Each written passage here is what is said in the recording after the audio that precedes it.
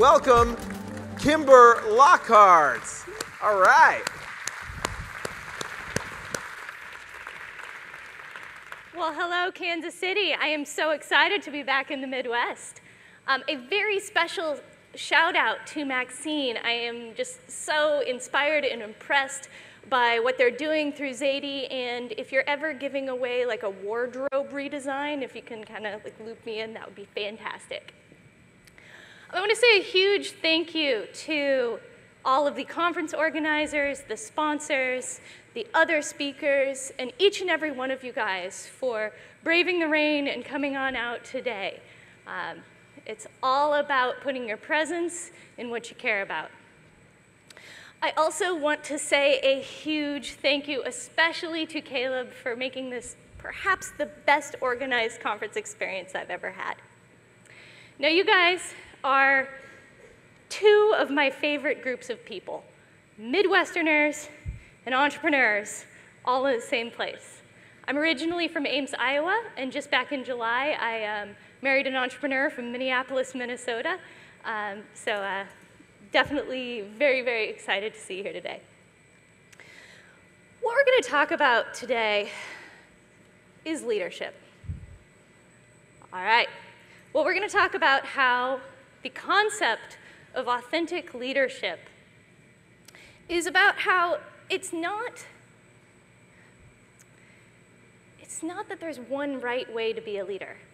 And when you're someone like me and you've been a leader throughout your life and you're not the kind of person who looks like a person who would be a leader, you learn that the types of strategies you use as a leader are very different. So what I'm going to do today is share the story of how I learned what kind of leadership and style works for me. You're going to hear about good times, you're going to hear about bad times, and hopefully share the inspiration and guidance for you as you set out to find what your own um, authentic leadership style is, is. So this is actually me um, in the boss hat. And while leadership is about more than being the boss, I think this gives you a little clue into uh, uh, into the future for that little girl. The story really starts, though, um, about 12 years later. As a ninth grader, I'm shy, I'm introverted, I'm good at getting A's, the teachers like me, I don't get in fights with my parents for really any reason other than my messy room. I have a little bit of a lisp. I get really scared speaking in front of crowds. I am hardly the profile of an entrepreneur, an outgoing, self assured, independent rebel. Fortunately for my career, that is not a prerequisite for being an entrepreneurial leader. And that leads me to the first lesson of leading authentically anyone can lead. The story starts with knitting. I was a knitter when I was a kid. Who here has ever tried to knit? Okay, so the deal is it's creative, but it's a little bit boring and repetitive. But something about it really, really appealed to me. One day, um, you know, within the span of a couple of days, I had two things happen to me in the world of knitting. The first is that I found a pattern for a hat. And the intention of the hat was to be donated to a cancer center to go to patients undergoing chemotherapy um, when life was kind of at its roughest. And I was like, ah, that's pretty cool. Maybe I'll make one of those one day. Within the same week, a bunch of boys from my high school class learned how to crochet. First of all, what? Secondly, they got pretty good. And the gears started turning. And I started thinking, what if it's not just about me making a hat, but I can get these boys to also make a hat, and then maybe I can mobilize my community to all make hats, and the city of Des Moines, Iowa will never be out of hats for chemotherapy patients in need. Now, how was I going to make that happen? These are the leaders I knew at the time. The guy on the left-hand corner of the screen is my high school principal. You guys might not recognize him.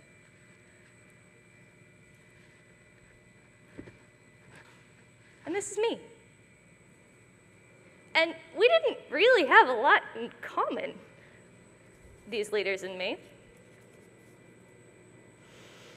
So I said, well, this isn't very useful, and I just kind of set out and did things my own way, step by step.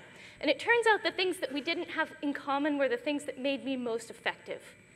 Being a little bit nervous when I walked into those community centers to ask for help was exactly what caused people to respond generously. I didn't have authority, not even close, so I had to rely on my influence and build connections through influence. I asked all the stupid questions, and people were more than happy to help. I learned what worked, and I learned what didn't. And while the chemotherapy cap drive of my high school career was hardly earth shattering, it made me fall in love with entrepreneurship and how, with one idea, with one connecting of the dots, I could change someone's world. And in fact, it was a few years later, um, when I was in a class on entrepreneurship at Stanford, that I learned my next big lesson on authentic leadership. That lesson is that you can't follow anyone else.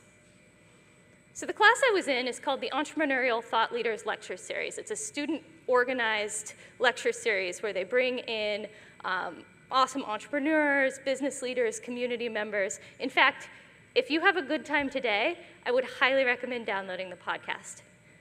I was organizing this series at the time, and I remember that one of my key frustrations is that the people that came in all had such different and times conflicting advice. So up there is uh, Ron Conway. Uh, he's a prominent angel investor. He would come in and say, You need to do your company exactly like this, or I will not invest.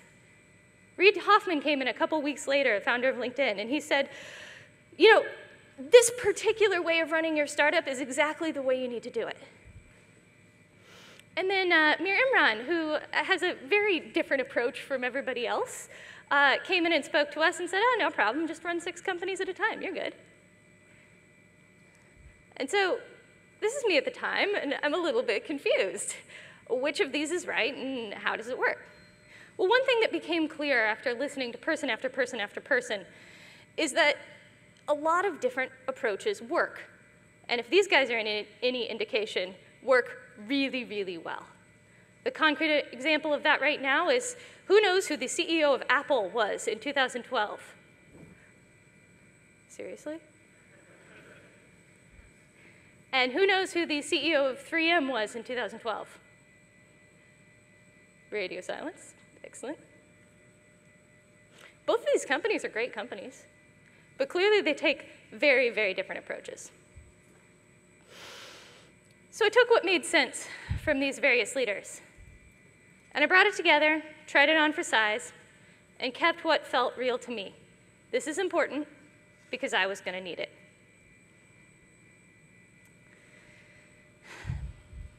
The junior year, the entrepreneurial bug bit. And there's two ways that a lot of people get started starting a company. You either find a need that you care about passionately and you realize that you're the only person who can solve this, or you take the approach I said and say, wow, this entrepreneurial life sounds awesome. Let's get a group of people that I love together, and we'll spend some time thinking of what those issues are in our lives that we can solve. Now, we took that latter approach, and then we spent some time thinking, and, uh, you know, we came up with uh, this issue of getting feedback on your documents. So who's ever merged a bunch of tracked change documents? Yeah, it's really terrible. You never want to do it. Now, this was in 2008, and one of the things that was happening in the world in 2008 is the technology to be able to view documents in your browser was getting better and better. In fact, it was getting to a point where it was possible to build a robust system um, where you could leave feedback all in the same place and never have this merging problem ever happen again. So my friends and I built it. This was our junior year of college. Our senior year of college, spring, spring quarter, we were working full-time, serving customers, building the product, et cetera, and also finishing school. On top of it, I'd spent all my money on college. If I was gonna do this, I was gonna need some sort of source of capital. So I talked my co-founders into going out to the venture market in early 2008. We got lucky. We raised some seed capital from uh, DFJ and we invested back into the business. We built a team of about seven people over the course of the next two years to build this product and take it to market, and it was one of the most exciting experiences of my whole life. Enter 2009. Who remembers what happened in uh, late 2008, early 2009? Anybody here trying to fundraise in 2009? Let me just tell you, wasn't a lot of fun. There was money out there, but there wasn't much. So we had this company and we'd achieved every goal we set aside with this company. We had customers and revenue. We weren't profitable yet. But we had everything that we'd agreed upon were the criterion for success. Now, when we went out to the market the market was dried up, um, it caused my co-founders and I to get together and say, uh-oh, what are we going to do? We're employing these people. And we said, well, how could we be profitable tomorrow? And this is actually an exercise I encourage frequently. Even if you are profitable, how can we be five times as profitable tomorrow? How can we hit a major disruption in our business? And we came up with a strategy that, that worked. We said, hey, we've got this technology. The technology is actually more interesting than the product that relies on it. We can take it out and license it to a bunch of uh, these document management companies that really want to be able to provide their users a visualization of the document as they're using the service. Turns out one of those companies was called Box. Um, Box was a, about a 50-person startup document management company at that time. And Box came in, and they came in interested in being a little bit tighter partners than we were originally thinking. In fact, they came to us, and their CEO, who was uh, uh, actually very young, they're only a couple years older than we are, were at Increo at the time, comes to us and says, hey, we'd like to buy you. We're like, uh, that wasn't part of the plan, but maybe. Um, and we spent some time with that team, and one of the things we discovered is not only is the technology a really, really excellent fit, but the teams were great fits too. So we were able to actually make the sale to Box. And when I joined Box, um, Box, like I said, was about 40 people. Uh, and I joined at just the right inflection point for them to go from 40 people up to about 1,000 people in three years. Part of that kind of growth is that you need leaders who are capable of leading a team of five or a team of 50 or a team of 100 or 150 within weeks of each other. And so being able to grow as a leader becomes so incredibly important. This is where I learned lesson four, learn through experiments. When I first became a software leader, I came off of Increo where it was just this like seven person, we were all in one room, we had a whiteboard, maybe occasionally I'd have a one-on-one -on -one with somebody into an engineering organization where I needed to be a real professional, mature leader. And the people that I saw doing this job were awesome, but they also weren't really like me. They had 10, 15 years of seniority that gave them a level of credibility that I didn't have. And I was managing all of these fantastic, smart, brilliant software engineers. So clearly, there's going to be, have to be something about my approach that was unique.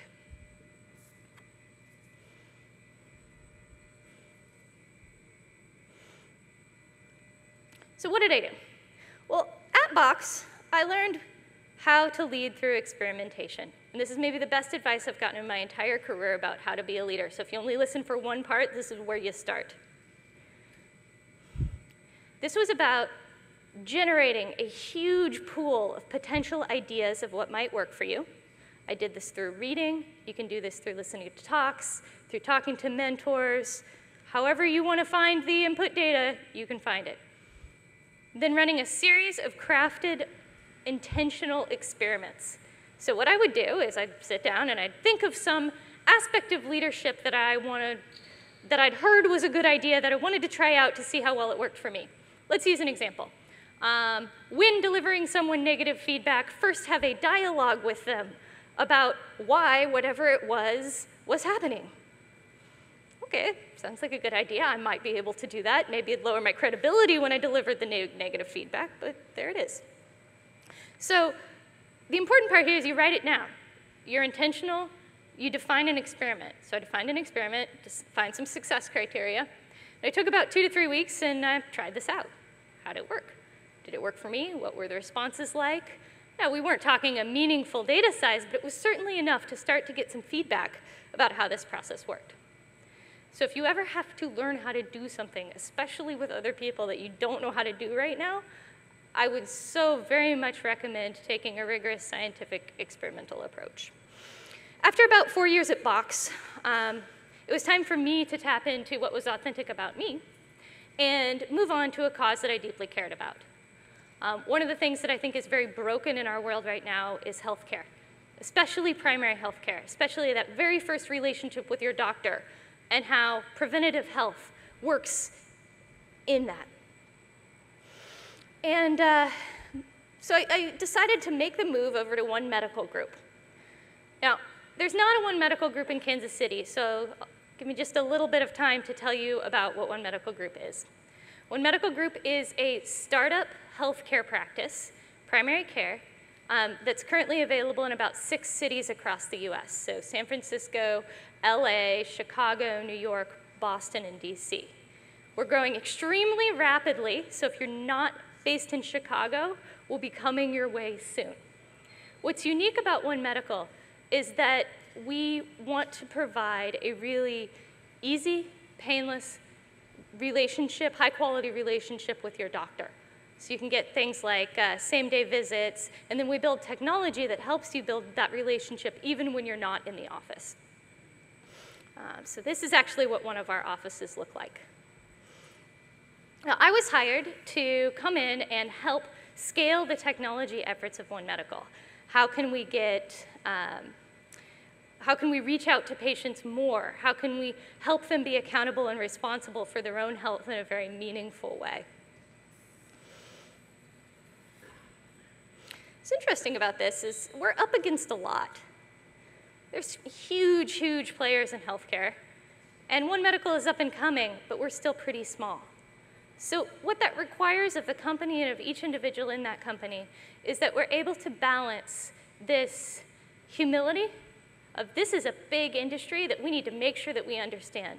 And especially me, coming in as a leader without healthcare background. There's a huge amount of humility in how I have to go through my job every single day. But at the same time, there's confidence because so many things are the same. People are the same, software is the same, problems are the same, and so we end up having to balance this, uh, this humility with this confidence as, as, as, as leaders we move into new industries. So what I want to leave you with today is just thinking uh, through your own life and thinking about where you are, what you've learned. Anyone can lead. You can't follow anybody else. You're empowered to go out and make change even if you're not the most qualified person. You can learn how to do it through defined experimentation. And no matter what you do, whatever you learn, um, the spirit of entrepreneurship is approaching a new situation with humility and confidence you can make a difference. So thank you very much uh, for your time today, um, and I think we may have a little time for questions. Yeah.